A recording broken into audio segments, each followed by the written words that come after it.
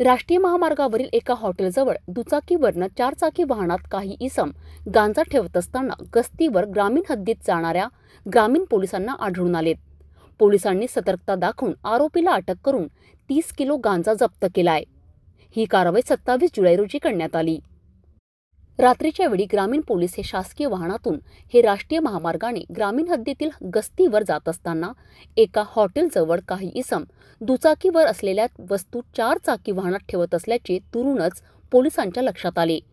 पोलिसांची गाडी घटनास्थळी जाताच दुचाकीवर असलेल्या दोन इसमांनी धूम ठोकली.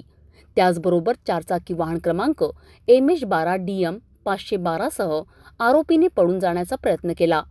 परंतु त्याचे वाहनावरील नियंत्रण सुटल्याने गाडी रस्त्याच्या कडेला खड्ड्यात उतरली. तरी आरोपीने ती वर काढण्याचा प्रयत्न केला. गाडी निघत नसल्याचे पाहून आरोपी बावीस वर्षीय फैजान खान लतीफ खान हा राहणारा मोमिनपुरा ताजनापेठ अकोला येथील रात्रीच्या अंधारात झुडपात लपून बसला. पोलिसांनी त्याचा शोध घेऊन ताब्यात घेऊन विचारपूस केली असता गाडीत गांजा असल्याचे त्याने सांगितले. तेव्हा त्याच्याकडे पॅकिंग केलेला तीन लाख पाचशे पासष्ट रुपयांचा तीस किलो गांजा आढळून आला.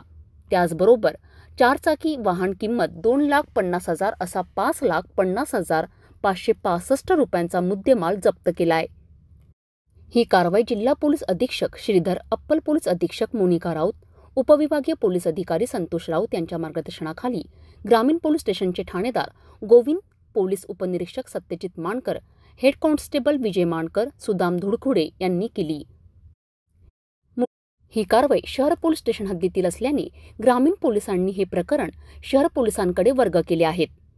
मूर्तिजापूरवरनं मच्छिंद्र भटकर सिटी न्यूज प्रतिनिधी.